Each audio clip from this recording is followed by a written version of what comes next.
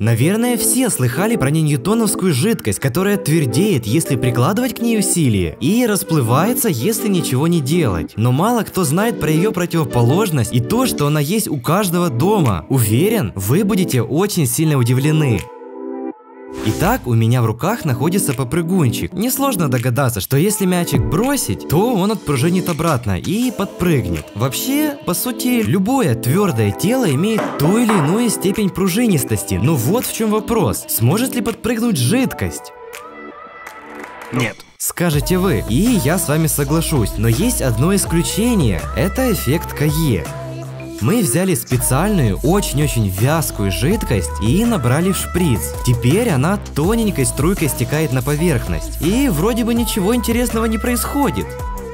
Но если присмотреться поближе и в слоумо, то можно заметить, как жижа отскакивает сама от себя. Что? Да, мы тоже офигели и поначалу даже не поверили, что такое может произойти в реальной жизни. Но оказывается этому есть логичное объяснение. Сейчас я попытаюсь донести его до вас. В общем, это никакая не специальная жидкость, а просто обычный шампунь. Да, тот, которым вы моете голову. Вообще подходит любое, более-менее густое бытовое средство. Мы вот купили много вариантов для теста, но оказалось, что лучше всего работают именно густые шампуни. Просто переверните емкость и старайтесь добиться как можно более равномерной струи. Важно подобрать идеальное сочетание высоты баночки и силы потока. Тогда эффект начнет проявляться. Поэтому мы взяли штатив и зажали в нем лейку. И набрав шампуни, получили равномерную струю, высоту которой можно регулировать. Уже получается гораздо лучше.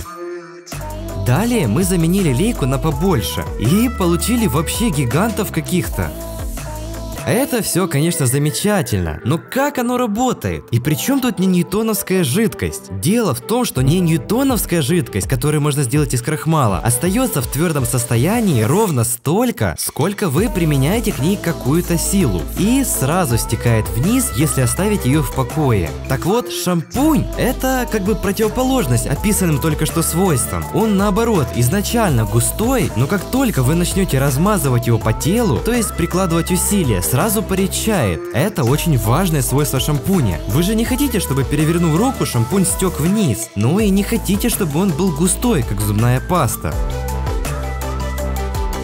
Чтобы сочетать эти свойства в одном продукте, производители придали шампуню такие свойства. Его вязкость падает при увеличении воздействия, потому что шампунь это полимер с очень длинными цепочками. Представьте, что это и есть та самая цепочка полимеров. Если ее свернуть в маленькую кучку, подобно тому, как шампунь находится у вас в руке, сукупность молекул хорошо противодействует вашим попыткам размазать его, но как только вы распластаете его, уже никакого сопротивления эта цепочка не вызывает и фактически превращается в более текучую субстанцию. Нихуя не понял.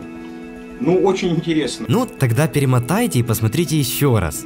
Благодаря этому свойству и работает эффект Кае. Вязкая струйка шампуня ударяет о поверхность и получается впадина вот такой формы. Вместе соприкосновения струйка ведь воздействует на верхние шары жидкости, поэтому они становятся менее вязкими и фактически превращаются в смазывающий материал, который смазывает образовавшуюся горку. И вот по ней шампунь, так скажем, съезжает, а благодаря трамплину подпрыгивает и получается еще одна струйка, которая как и была так и остается в вязком состоянии. Вроде как все просто.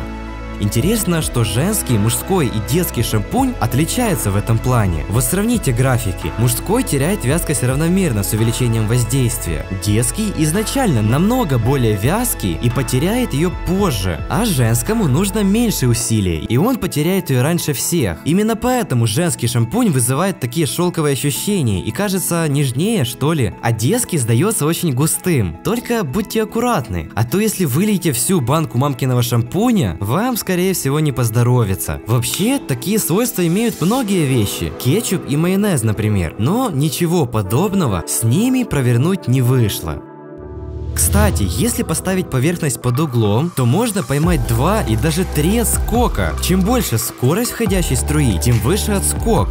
Но не нужно давить на банк, гравитация сделает все сама. Единственный минус в том, что один и тот же шампунь повторно использовать не получится, ведь он насыщается пузырями и теряет свою вязкость. Да, выглядит красиво, но уже непригодно. Мы решили заснять еще пару кадров отскока, но уже на белом фоне.